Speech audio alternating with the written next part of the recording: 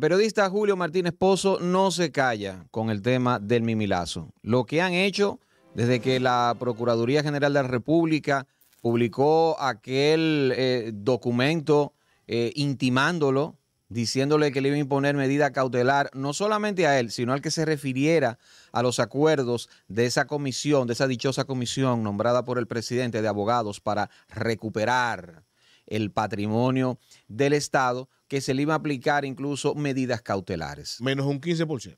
Exacto, menos un 15%. Entonces, eso lo que ha hecho es seguir motivando a Julio Martínez Pozo para hablar del tema y revelar otras cosas que se, van, que se, van, se han ido destapando con estos acuerdos. Indudablemente que hay bufetes de abogados, firmas privadas de abogados que en la lucha contra la corrupción han engrosado su patrimonio. De eso no hay dudas.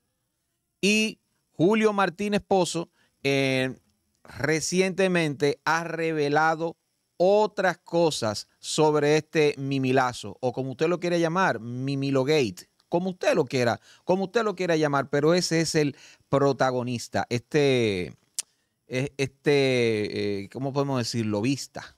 ¿Mimilo qué?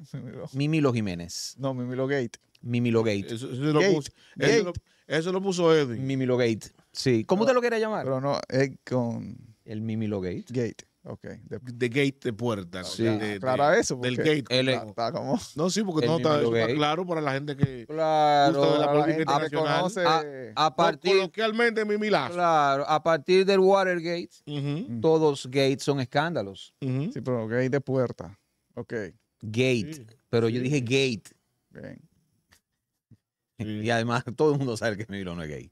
El punto es, señores, que el eh, periodista Julio Martínez Pozo dijo algo muy interesante.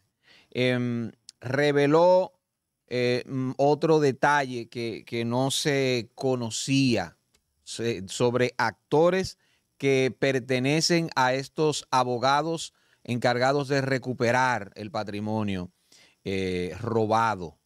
Y, y, le llama Julio Martínez Pozo casa recompensas convenientemente le dice casa recompensa, que podría en la, eh, oficiosamente llamarse así. Claro. Porque básicamente no han trabajado por, por el, tú sabes, por el bien de, la, de, la, de la patria y no lo han hecho de forma gratuita. De hecho, tengo que hacer una suerte de disclaimer, tú sabes, porque dije la, en, otro corte, mencioné a José Luis Taveras, que era parte desde el inicio de los coordinadores de estos abogados y él trabajó pro bono. ¿Qué quiere decir? Que no cobró. No cobró un chele y él dice, ahí están los, los contratos, están a la luz, están los acuerdos. Yo fui pro bono y yo no formo parte ya de esos abogados. Eso lo tengo que decir, porque yo me refería a él. Entonces, eh, Martín Pozo, dentro de este mimilazo, mencionó a una abogada que forma parte o que formó parte de estos casas recompensas, pero que a su vez trabajó para una de las empresas de Mimilo Jiménez. Oigan esto, trabajó para una de las empresas de Mimilo Jiménez. Y hablamos de una jurista que tiene, pero una dilatada trayectoria en el sector público que se llama Kerima Marra. Kerima Marra, que fue graduada summa cum laude en UNIBE y tiene un currículum, señores, extenso, desde el Banco Central, Ministerio de Hacienda, Comisión de Reforma del Sector Salud. Miren, si yo les digo para todos los proyectos en que ha trabajado en el sector público, la verdad es que me voy, me voy aquí a secar. Eh, lo curioso es que luego de ser abogada eh, de, esta, este, de, esta comisión ¿no? de recuperación del patrimonio público, pues de nuestro patrimonio, ella se fue nombrada en procompetencia. O sea, es como decir, miren, no, no, miren, ya ella, eh, eh, no, ella está, ella no forma parte de estos abogados. Sí, pero estos acuerdos, señores, no se hicieron en dos días estos acuerdos no se hicieron hace tres semanas, no, no. Esto tiene meses, cuando no ya años, más de un año, concretándose. Entonces, si es cierto que ya no está en la comisión, pero resulta un tanto o mucho sospechoso que haya trabajado con Mimilo Jiménez y que forme parte de esta comisión de abogados y da la sensación, puede que así no sea, puede que ella se haya, digamos, eh, eh, abstenido de trabajar el caso Mimilo, siendo abogada de, eso, de, de esa comisión, siendo miembro de esa comisión. puede que lo haya hecho, pero suena pero suena muy sospechoso, la verdad. ¿Cómo, que se estuvo a trabajar si Martín Esposo enseñó un papel querellante donde está, la firma de ella? Ah, no, no, debe estar, no, lo que pasa, como son comisión, están en todos los casos, la comisión completa. Lo que dice Edwin es quizá dentro de todos los casos que están llevando de, de, de acuerdo, ¿verdad? Ella trabajó en otros. Ahora bien, yo lo que digo, digo, que pudo haber sido, yo, yo, por darle la verde, buscando, buscando un bajadero. Sí, pero la crítica de, Julio, y yo, la, y yo me sumo, ¿verdad?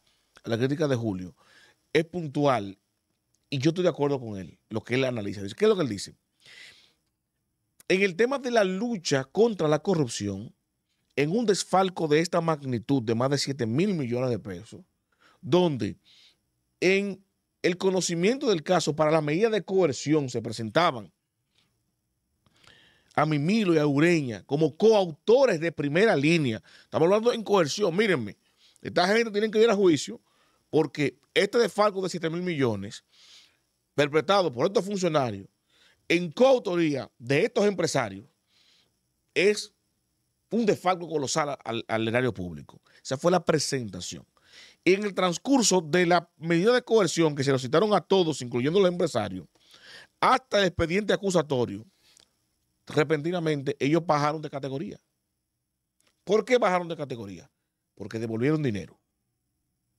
Entonces, cuando tú tienes un coautor de primera línea en coerción que no llega a la acusación al expediente como coautor principal, sino como terciario, desaparece la acusación negocia con él una devolución de dinero, prácticamente pagando su impunidad.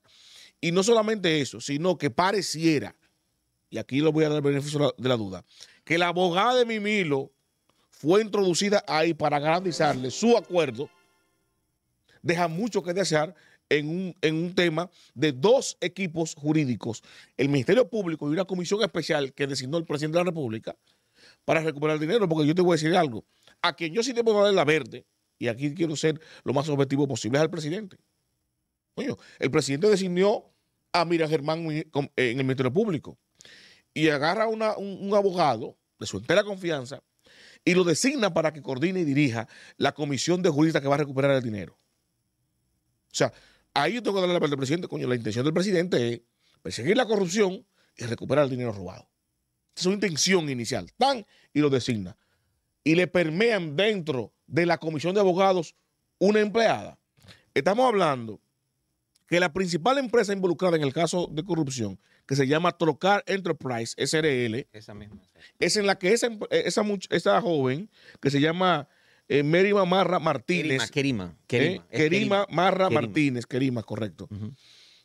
Trabajó asesorando legalmente a, a, Mimilo. Era la empoderada de la empresa. Sí, ilegal, de Mimilo. Y pasado esto que viene este escándalo, entra a formar parte de la, de la comisión que demanda a su jefe. Claro. Entonces, ¿para qué está ahí? ¿Para recuperar el dinero? No, hubiésemos buscado a una persona. Entonces, ¿qué dice Julio Martínez Pozo? Aquí el gran problema es la debilidad de las instituciones que están representando al presidente de la República en el trabajo, que ponen en riesgo la figura presidencial y por ende comprometen el trabajo objetivo del Estado. El Estado, el Estado no fue cómplice de los robos. El gobierno de turno, los funcionarios de turno, los empresarios que se metieron en eso, fueron los cómplices. Ahora, el Estado no. El Estado se supone que tiene que objetivamente trabajar en su favor, que es el favor de nosotros. Conchale, vamos a detener la corrupción y vamos a recuperar el dinero que se le robó al Estado. Y cuando tú permeas eso, luego de una designación del presidente, ¿en quién puede confiar el presidente? El Ministerio Público no está cuidando eso. La comisión que él nombra con una gente de su confianza no está cuidando eso. Se le permea gente ahí que está evidentemente, ¿verdad? Que no resiste un análisis o, un filtro o una auditoría moral. Porque yo, te voy a decir algo. Tú puedes decirme, no, eh, es profesional, ella no se va a prestar para eso, lo que tú quieras. Tiene un, vínculo con Mimilo.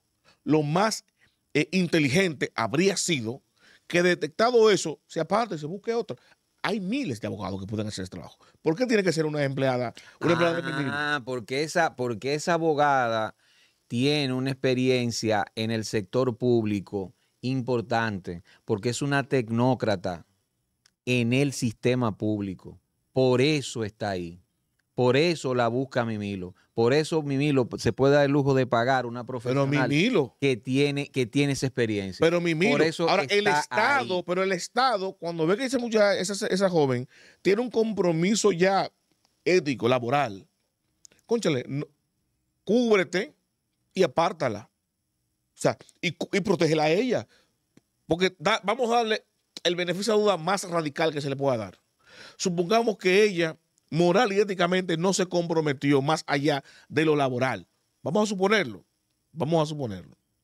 Ella misma, como profesional, al haber estado trabajando con Mimilo, no debió aceptarse parte de esa comisión. Si yo soy abogado de Mimilo, yo, Mario Herrera, soy abogado de Mimilo, y a él lo acusan de defalcar al Estado, ¿verdad? lo involucran en un caso, en el que en la empresa que yo trabajé como, como, como parte de su staff legal, y me ofrecen a mí después trabajar en esa comisión, no la acepto, por Dios. No la acepto porque me van a señalar que estoy ahí cuidando los intereses de Mimilo, aunque no sea cierto. Y de lo contrario, si no estás cuidando los intereses de tu ex cliente, estás incurriendo en un conflicto de intereses y en una falta ética de ser parte de los demandantes de un antiguo cliente tuyo. El Claro. abogado hace eso. Ento- Entonces, la, la única cosa que tú puedes inferir, Maracayo, de eso, es que deliberadamente yo lo aceptaría para eso, para prestarme a cuidar esos intereses, Sí. sin importarme que eso trascienda, porque ¿qué va a pasar cuando se sepa? Esto es lo que está pasando, el escándalo, el cuestionamiento. Entonces, ¿qué dice Julio? Y yo, eso yo quiero ser puntual en eso, y eso es a lo que yo me sumo, eso es a lo que yo me adhiero, y quiero resaltarlo ahora. Que lo penoso de esta situación no es que ella esté trabajando ahí. Porque si ella está comprometida con Mimilo y le dan el chance, evidentemente se va a meter ahí. Es que el Estado, que el Ministerio Público, que esa comisión de abogados se le pasara eso por alto y aceptara que le metieran ese gol, que le metieran ahí una empleada de Mimilo en un expediente supuestamente objetivo que va en el, con el norte, con el fin, con el objetivo de recuperar el dinero robado. Cuando tienes una empleada de uno de los principales implicados que va a devolver un monto X, lo que se está negociando es qué monto va a devolver y cómo lo va a devolver. Y evidentemente, míralo ahí, como le fiaron el dinero, a, a que yo cuánto pago, y con obra de. y, y asegurándole que pueda seguir trabajando, porque a toda esta la gente no ha entendido lo siguiente. Se supone que una empresa que incurrió en un desfalco automáticamente debe ser sometida y como mínimo sancionada. No puede volver a contratar con el Estado porque no son de confianza. Y ese contrato que dice, le puede contratar el Estado, ¿qué le está diciendo? Dejando legalmente instituido. Esa empresa queda habilitada para seguir trabajando en el Estado. Oye, una empresa que acaba de admitir que robó, que se prestó para robarle al Estado. O sea, eso, si eso no es un escándalo, ¿verdad? En cualquier parte del mundo, salvo en la República Dominicana, salvo aquí, en cualquier parte del mundo, ese grupo de juristas habría renunciado en pleno para ser sustituido por otro equipo de juristas para recuperar el, patrimonio. Y me voy más lejos, la propia Procuradora General de la República, que es la jefa, que lo que hizo fue intentar lavarse las manos publicando el repositorio de los acuerdos que ha llevado eh, el Ministerio Público. Supuestamente, miren, estos son los que yo he hecho. No publico los otros porque son el grupo de abogados externos. Ajá, porque somos idiotas. Pero esos son, pero esos son los, esos son los acuerdos complicados. Sí, pero que ella, lo que está partiendo agua, mírenme, lo que hemos liderado nosotros son estos. Y Claro. lo publicó. Lo de las Lo delaciones premiadas, lo que son normales, que son bajo ese proceso de, de, de- de delación premiada, ¿tú entiendes? Eso, eso, eso, uno lo, eso uno entiende. Es una figura que, que se acepta en el derecho. Ahora, Los complicados de verdad que aceptó el Ministerio Público, que los aceptó como bueno y válido, de eso no se sabe nada. No. Y eso es lo que está revelando Julio Martínez Pozo. No, porque esos, esos son los que está llevando esa comisión de abogados Claro. que, como no son un órgano del Estado, sino unos eh, abogados privados que contrató el presidente, no se deben, no están obligados a dar informe a través de la ley de transparencia, no están obligados a cumplir el debido proceso a través de, la ley de, de- de función pública. El Ministerio Público sí. Por eso, Miriam Germán, ¿qué hace? Ordena, bueno, todos los acuerdos que hemos llevado, nosotros publíquenlo. Porque la ley lo- los obliga. Ahora, el otro equipo no publica nada y nadie puede exigirle nada. Por eso están ellos haciendo acuerdos a, sus anchas y lo que entiendan. La ciudadanía le dio el beneficio de la duda, le dio la fe de la intención, creyendo en el presidente. O sea, ese grupo de, juristas, por más buenos, por más honestos y por más trabajadores que sean, la gente no lo conoce. La gente conoce al presidente que votó por Luis. Y Luis dijo, yo voy a nombrar a esa comisión para que recupere el dinero. Ellos están actuando bajo la fe y la credibilidad del presidente de la República, es. Bajo la fe y la credibilidad del presidente. Y si el presidente no toma carta en el anuncio y hace una sanción, cambia la cabeza, cambia el equipo jurídico, pide un informe y lo publica, entonces el presidente que está dando la quiescencia a eso. Ahora, lo que está en cuestionamiento ahora, ahora es la credibilidad del presidente de la República. ¿Por qué, por qué el presidente de la República tendría que cambiarlo ahora? ¿Bajo qué excusa? ¿Bajo, O, eh, bajo este escándalo. bajo la excusa? No descubrieron. Tiene que ser, porque ellos no han No, hecho nada. los descubrieron. Y yo como presidente, que no tengo que ver con eso, sino que le metieron ese gol a ellos, voy a corregir ahora. Si él, se, si él para proteger la- la- la- el, el proceso, calla y deja que eso pase sin pena ni gloria, entonces el presidente está tapando eso. Oye, por entonces digo a ti que la denuncia que hace Julio es que esta gente está comprometiendo la integridad reputacional del presidente de la República es. Porque hasta ahora, el presidente, te digo, dando el beneficio de la duda al presidente, su actuación al presidente es designar al Ministerio Público y designar a una comisión de abogados que le informan a él. ¿Verdad? Vamos a estar claros. Eso no es verdad que esa gente no dan informe al presidente de la República. Le informan el Ministerio Público y la comisión de abogados. Le dan informe. Tú puedes decir, bueno, ellos le llevan el informe que ellos tienen y la versión de ellos, el presidente. Ahora, lo que se filtra en la prensa, la versión de Julio, la denuncia de Julio, son aspectos, ¿verdad? O interpretaciones que escapan quizás a la línea argumentativa del informe que le rinden ellos al presidente. Entonces, cuando el presidente contrasta lo que está pasando, lo que están llevando, y analiza desde el punto de vista de un periodista como Julio Martínez Bozo, que hace esta denuncia, el presidente tiene que ponderarlo, pero acá, pero es verdad. Cuando esta gente, porque se supone que yo le dan una explicación al presidente, presidente, mírenme, esta gente que son empresarios participaron hasta este nivel y llevaron este dinero. Pero nosotros entendemos que lo más práctico para recuperar el dinero es negociar con ellos, que devuelvan y que sometan a los funcionarios. Que son, todo ese informe tienen que dárselo al presidente. Y el presidente o, o dice, bueno, ustedes son los que saben, procedan. Ahora, cuando se da el escándalo, ah, no, porque están negociando, porque mira, esa empleada, yo te apuesto que ese presidente no lo sabía. Ven, eso se destapa ahora. Ahora él lo sabe. Ven acá, que él jala al, al- presidente de la comisión, que es el próximo procurador. Pero ven acá. ¿Y cómo que esa muchacha, esa abogada que está ahí, era empleada de mi en esa comisión? Explícame eso. Ah, no, presidente, nosotros no, no, no lo sabíamos. ¿Ustedes no lo sabían? ¿Y cómo se le escapa eso a ustedes? ¿Y quién mata ahí y vinculado a esos sectores que defraudaron al Estado? Esa información el presidente supone que no la maneja. Y la maneja ahora. Ahora él tiene que tomar acción. El presidente, espérense, freno, stop. Plano, ven acá. Revisemos la comisión completa. Son 50. Cancelado 45. Quedan tú y cuatro más. Vamos a una nueva. ¿Qué está haciendo el presidente ahí? Bueno, revisamos, sacamos los que están dudosos, dejamos los tres que filtramos que están bien. Yo sigo confiando en el próximo procurador, porque a él también le metieron el gol. Y eh, pusimos un equipo nuevo. Intervino el presidente. Entonces el presidente que salva la reputación de su nuevo, de su nuevo procurador, diciendo, bueno, él tampoco sabía, le metieron un gol, fue. Estos tigres tienen una, un- un- una estructura criminal instalada, coño, por 30 años, 40 años, saben hacer su vaina, no, no metieron un gol, pero estamos corrigiendo. O sea, ahí el presidente salvaguarda un poco su reputación y la de su equipo. Si se queda callado como hasta ahora, y esto sigue así, entonces el presidente le dijo, no importa, dale para allá. Así Yo creo que está embarrado como quiera, men, porque es que han hecho, lo que han hecho es una suerte de campaña de contraofensiva. Eh, digamos, manchando, usando otros comunicadores para, para hacerle frente a Julio Martínez Pozo. ¿Y tú crees que es una orden En del el, presidente? caso, en el caso de Nuria Piera. Bueno, O de uno tiene, uno tiene, uno tiene la, la experiencia, uno tiene la experiencia de que, de que los gobiernos se articulan y responden de muchas maneras.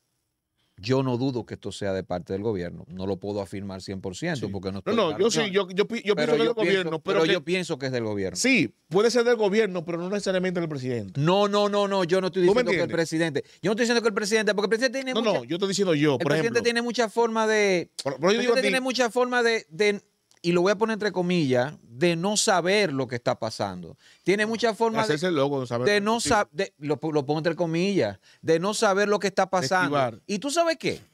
Eso puede servirle de experiencia al presidente para que él vea que hay cosas a las que, con las que tú tienes que bajarle, bajarle dos.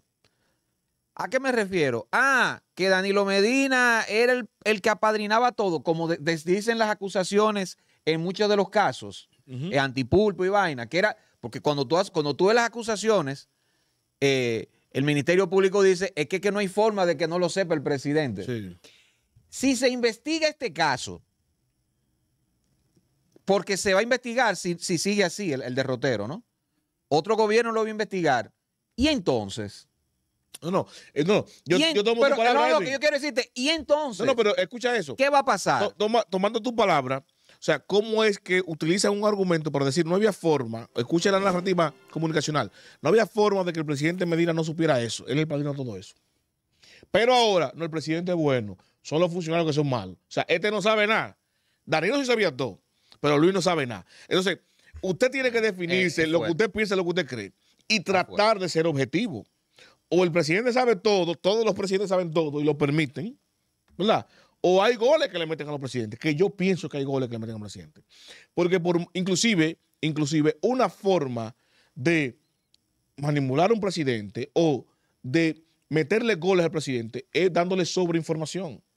Imagínate un presidente de la República que tiene 23 ministerios, tiene 300 instituciones, maneja un presupuesto completo y está un tipo haciendo vallaquería con 100, 200 millones de pesos. Un presidente que está administrando miles de millones de pesos, le pasa los informes. Lo que él está viendo el informe, que, que el, el cartel 5 mil millones, que fulano le mete un informecito ahí de 100 millones de pesos, de 200 millones de pesos, de 500 millones de pesos. Él lo ve, está todo bien y sigue trabajando y le metieron el gol. ¿Tú me entiendes? Ahora, cuando explota el escándalo, ese se integra a detalle. Ahí sí. Hay que ver qué reacción toma el presidente después que le pronto un escándalo. Ahora, es muy difícil para un ser humano, y, ahí te digo, tiene, tiene equipo, se supone, porque no es, no él solo, él tiene un equipo económico que, que va supervisando, que va ayudándolo. ¿Y ese equipo quién lo dirige? Su gente de confianza, su ministro de la presidencia, su ministro administrativo de la presidencia, su ministro de Obras Públicas, su ministro de Hacienda. Son gente, su ministro de Planificación, son gente de confianza en su entorno, que es el que lo ayuda a supervisar. Pero cuando es uno de esos entornos que es el que está corrompido, ¿lo está ayudando a supervisar o está ayudando a meterle los goles al presidente? Ayudando a meterle los goles, los goles al presidente. Por eso la gente dice, bueno, el hombre, el, presidente, en este caso, el presidente Abinader, tiene buenas intenciones. Lo que pasa es que salió malo Fulcar en educación. Por ejemplo, el presidente tiene buenas intenciones, lo que pasa es que ese muchacho eh, eh, eh, en el Ministerio de Vivienda, Bonilla, tiene que buscar lo que invirtió. Pero el presidente es bueno. Entonces, ¿hasta, ¿hasta cuándo el argumento, el presidente tiene buenas intenciones, el presidente es bueno, va a funcionar? Porque recordemos, y, tiene que verse en un espejo del, del expresidente Medina. Ahora, ahora, hoy, este presidente que sacó un 62%, ¿verdad? Lo que la gente dice, lo sabía todo, lo permitió todo. Allá no es bueno, porque ya, porque ya o, o nunca fue bueno para usted. Lo que pasa es que usted decía eso porque era el que tenía la pluma en la mano para firmar los decretos, para resolver la vida a alguien. En ese momento, él es bueno, él es bueno. Entonces, si el presidente inteligentemente se ve en ese espejo, tiene que entender que eso de que el presidente tiene buenas intenciones, que el presidente es bueno y que los malos son funcionarios, son esos mismos que después van a decir que usted sabía todo.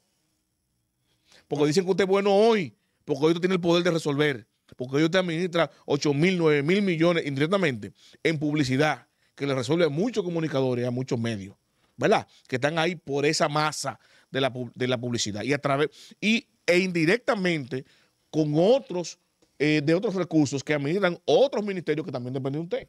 Que el presidente que pone y quita. Vamos a esperar el, el giro de esta historia, el giro que le dará Nuria Piera en su próximo reportaje este sábado. Espérenlo, a ver de qué forma le contesta a Julio Martínez Pozo. Aunque Julio Martínez Pozo se lo puso difícil con el hecho de, al final del comentario, y bueno, ya, ella no está trabajando para, para, esa, para esa empresa, sino que está nombrada, que es peor todavía, está nombrada en el, en el Estado. Pero vamos a ver eh, cómo Nuria eh, responde. También, señores, como dice Mario, si el presidente deja eso así, se hace el loco, el, sol, el, sol- el sordo, pues queda en especulación. La gente va a pensar de ese 15%, ¿cuánto le tocó al presidente de la República? ¿Cuánto le tocó de ese 15%? Porque así que se manejan las cosas aquí en el Estado. Eh, O si es de él, porque recuerda que le pagan 1.6 a los al abogado, eso es lo de ustedes, el 15 es mío. ah. ¿Tú me entiendes? Entonces, Y te, especulación, y- y te voy, y te nombrando un par de gente ahí en el proceso, en, el- en estos cuatro años. Cuando viene a ver en estos cuatro años, los 35 abogados que conforman esa comisión están nombrados toditos ya. Pero lo van nombrando uno a uno, uno a uno. Yo le voy a decir una cosa, señores, 15%, eh, ti- eh, las expectativas que se tienen de recuperar eh, son unos millones groseros. Fíjense que con solamente 2.500 millones, ya esos abogados tienen casi 400 millones de pesos en los Que- bolsillos. Sí, Maracayo, puntualizar que eso no es malo per se. En países internacionales, en, o sea, en otros países del mismo continente, se estila un 25 hasta- un 30%. Ujú. Ahora, en este contexto es distinto. Y yo lo explicaba a un, a un comentario que, que hacían, nos hacían por YouTube. En este contexto es distinto. ¿Por qué? Porque no es que se nombró una comisión para recuperar un dinero irrecuperable, como se da en, otro- en esos países. Bueno, ese dinero está prácticamente perdido.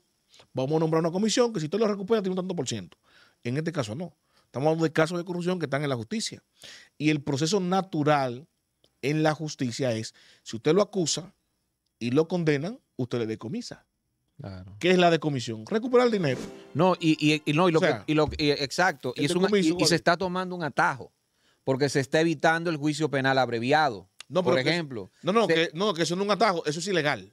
Sí, pero yo, Porque se sí, supone que claro, usted negocia con una claro, gente, tiene que hacer un Claro, cuando te toma un O sea, atajo, tú, lo estás, tú, tú estás incurriendo en ilegalidad. O sea, cuando tú te estás tomando Después un imputa, atajo, después que eh, eh, después que imputa, evita el juicio penal abreviado e incluso, como en el caso de Mimilo, según ha denunciado Martín Esposo, contratan a sus empresas como parte del acuerdo para devolver los cuartos. O sea, yo trabajarle al Estado para pagarte lo que dice el Estado que me robaste, eso es insólito. Eso no ocurre en ningún país del mundo. Eso no ocurre en ningún país, en ninguna comisión de la que tú dices. Ese es el gran problema. Pero bueno, dice Maracayo, Nuria va a dar, dar su respuesta este, este fin de semana. Pero no se olviden de algo. Recuerden que su hija está en un bufete de abogados que se ha dicho también que le ha ido muy bien en este combate a la corrupción. Analícenlo. Esta es la quinta pata. Mario Herrera, José Maracayo, Edwin Cruz. Recuerden suscribirse, activar campanita, darle a me gusta para seguir creciendo y recuerden, canal 503 para el Gran Santo Domingo por Win TVO, Siembra TV, de 1 a 2 de la tarde y retransmisión de 8 a 9 de la noche, que también está en las principales cableras del Cibao Central.